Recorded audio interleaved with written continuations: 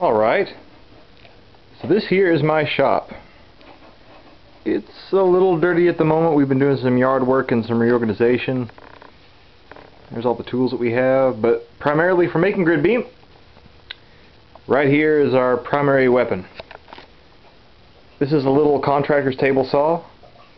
I took the fence off it earlier because I've been doing some work with making wood puzzles, but normally when the fence is on here I'll set it up to about uh, 1.5 inch because that's what I cut my sticks to be. And to run it through here I have a... Let's go upstairs and check my lumber yard real quick. I'm not quite sure how large they are. But uh, that's what I start with, and I will rip it down to things of about this size for my sticks, 1.5 inch by 1.5 inch on the side, as accurate as wood will let you get. Wood being organic material, it doesn't like to be nice and square like metal.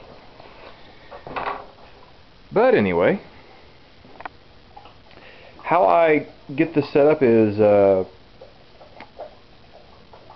I used to measure each and every one of these holes painstakingly and mark a horizontal line across where the holes need to be drilled and then I take them over to my drill press and on the back of this I mounted a piece of wood that ensures that the tip of the drill bit goes down exactly three quarters of an inch from the edge of the wood where the holes need to be spaced.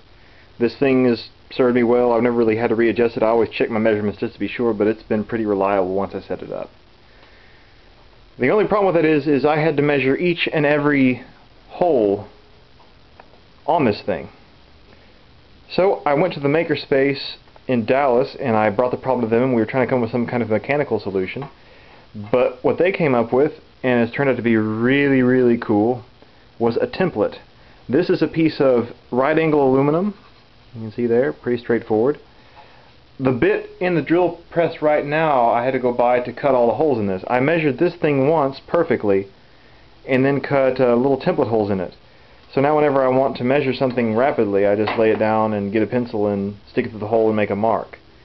Now for whatever reason either because I'm assuming the wood is not perfectly straight the holes in this template are not perfectly lined up so I still need to have the stop on the back of the drill press to make sure that the holes are all centered in the wood. But it does measure the length correctly. So that saves me a ridiculous amount of time which I would otherwise be using just to measure each and every hole.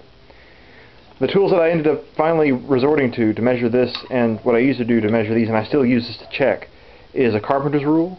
This thing folds out to about uh, six feet or so, and it's better than using tape because at the end of the tape you notice how they have that uh, stopper.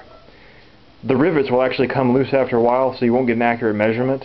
And while the tolerance with grid beam, especially with wood grid beam, is pretty high, you can generally manage to get a screw through even if the holes aren't exactly aligned. If you're building something that requires a bit of accuracy like a piece of furniture or a table and you don't want it to wobble ever so slightly, it's very important to make sure you have accurate measurements. So I recommend one of these things highly another good way to make sure that you do your straight lines and edges and especially when you're trying to measure how far in on a piece of wood the holes are the handy dandy combination square is always a great tool to have. So what I use to make my grid beam aluminum right angle template table saw and a drill press. That is the whole kit and caboodle. I hope this was informative. If you have any questions please let me know